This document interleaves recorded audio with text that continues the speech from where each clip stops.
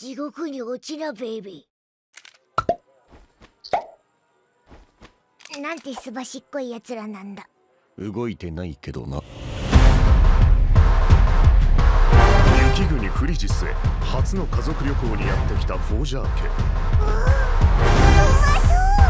勝手に動くな。迷子になるぞ。今日くらいはアーニャさんのその旅が。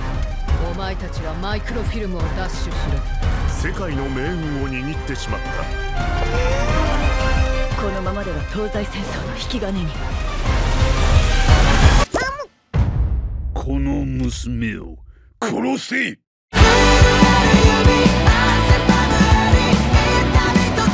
まさかアーニャのやつ軍の一件に巻き込まれて。撃てどうせすぐ戦争になる。諦めるの。はマイクロフィルムの彗星に世界の命運がかかっている。家族は一緒にその程度か排除しろアーニャが助ける。待ってろ。アーニャ劇場版スパイファミリーコードホワイト。必ず取り戻してみせる